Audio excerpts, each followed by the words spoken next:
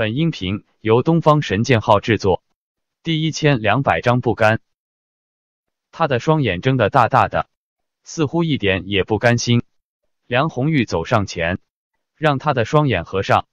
他闭上眼睛，眼泪像是断了线的珠子一样落了下来。这时候叶浩轩冲了过来，他看到梁红玉没事，这才松了一口气。他拍拍梁红玉的肩膀道：“节哀。”梁红玉抹了一把眼泪，然后重重的点了点头。你回去吧，外面的人应该已经伏法，里面的事情交给我就行了。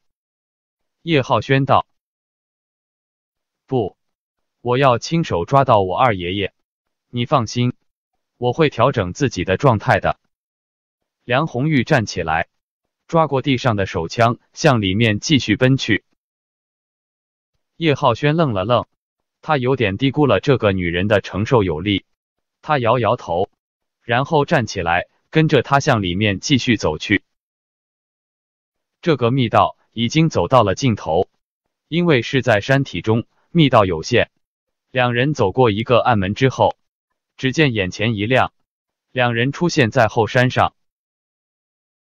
经过这么久的折腾，天色已经微微的亮了。两人顺着山路向前奔去。这个小山包并不大，跑到了山顶。只见梁金年和那名罗道士正在山上摆弄着什么，他们身边还有几名保镖。梁红玉猛地举起手中的手枪，对着前方迅速的开了几枪，那几名保镖应声倒地，马上停下手里的动作，不然我开枪了。梁红玉冷冰冰的指着正在掐这道诀摆弄这什么的罗道人。罗道人回头冷眼看了一眼梁红玉，然后冷笑道：“梁经年，早知道我就应该送你这孙女一程。”梁经年缓缓转过身来，他的脸色紧紧的绷着，他盯着梁红玉道：“红玉，到现在了，你还是死追不休。”二爷爷，我还是那句话。梁红玉把手中的枪指向梁金年道：“跟我回去。”我会为你求情。呵呵，我为什么要让你为我求情？我已经返老还童，我即将可以长生不死，我有大把的时间和青春去做自己想做的事情。我为什么要在监狱里过一辈子？梁经年冷笑了一声，因为你做错了事情，仅此而已。既然做错了事情，你就要接受惩罚。梁红玉冷冷的说：“小心点，我去解决那道士，他在摆弄的东西绝对不是好东西。”叶浩轩看了一眼天时地利以及那道士所摆弄的阵法，他有种不祥的预感。去吧，我会小心。梁红玉点点头。叶浩轩转身大步走到那名道士跟前。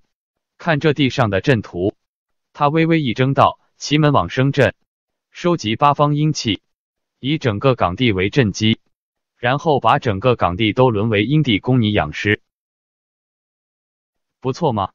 有点眼光。”罗道人放下手中的阵图，他得意的指着自己的杰作道：“阵图马上就要完成了，到时候整个岗地都会被笼罩在阴地之中，孤阴不生。”独阳不长，岗地的运数丧尽，此处就会形成一个极大的阴地。哈哈，到时候这里就是我的天下，将有无尽的行尸供我驱使。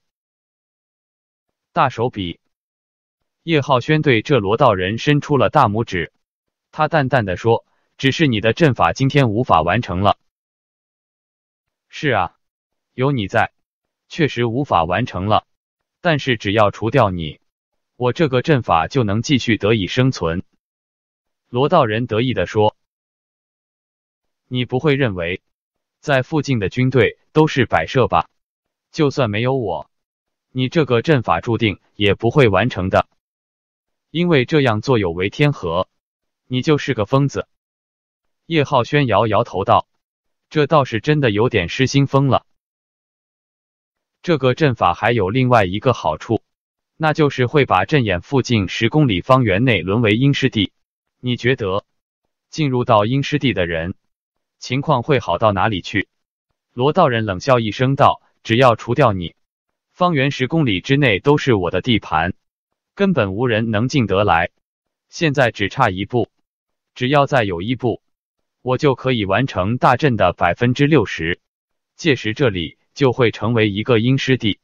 我看有谁进得来？叶浩轩愣了愣，他对这个阵法也只是止步于刚刚听说过的地步，他并不清楚这个大阵还有这个功能。那很不好，我只有先除掉你了。叶浩轩冷笑一声，他缓缓的抽出了手中的鱼肠。那名道士双眼中闪现出一丝异色，他看着叶浩轩手中的鱼肠道：“不是你？难道和我数次交手的那个人是另有其人？”“没有别人了，跟你交手的人一直都是我。”叶浩轩摇摇头道：“不可能，跟我数次交手的那个人手中的武器煞气很重，你这把剑虽然不错，但跟他的武器……”比起来差远了，那可是真正的凶兵。罗道人道：“你所说的是，就是修罗。”叶浩轩反手把背后一直用布裹着的修罗重重的顿在地上，只见一阵强烈的煞气从修罗上散发了出来。没错，就是他，上古凶兵的气息，果然不同凡响。罗道人的脸上。露出一种狂热之色，他恨不得马上把叶浩轩给干掉，然后把修罗据为已有。他身上的煞气再加上自己的阴杀玄术，他将会一举成为这个世上最强的人。他叫修罗，但他身上的煞气不是我现在能驾奴的了的，他一直在影响我的心神，所以我不用他御敌。叶浩轩道。可惜了，我在废弃工厂布下的阵图让你给发现了。如果不是那样的话，你早就深陷阵中，这东西早就是我的了。罗道人有些惋惜的说：“可怜我那一缕分魂也被你乱炮轰死。”厉害，能拥有双魂石，我还是第一次见到这样的高人。叶浩轩由衷的点头佩服道：“过奖了。”罗道人笑了笑，如果想要他的话，你现在就可以去拿，我绝对不干扰你。叶浩轩说这退了一步，做了一个请的姿势。真的？你说的是真的吗？罗道人的眼里露出一丝惊喜的神色，这可是上古凶兵啊！如果用来做武器，那几乎是无敌的存在。什么法器灵气，在他跟前简直弱爆了。叶浩轩难道真的一点也不在乎？